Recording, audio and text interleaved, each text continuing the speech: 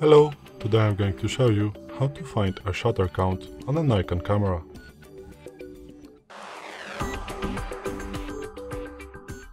So, as you can see, we have here a Nikon D300 and to find the shutter count we need to turn on the camera and the shutter count is going to be displayed right here on the top of the little screen right here or also if you want to see it on the main screen it is right here.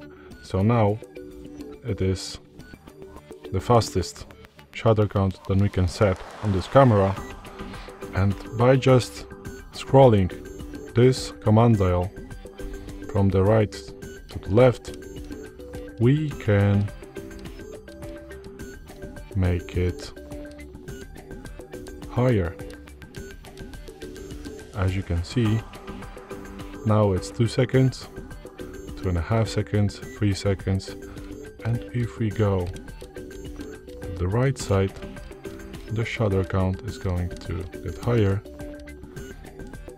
and this is it. Thanks for watching, I hope it helped. If it did, please hit subscribe and hit the like. Bye.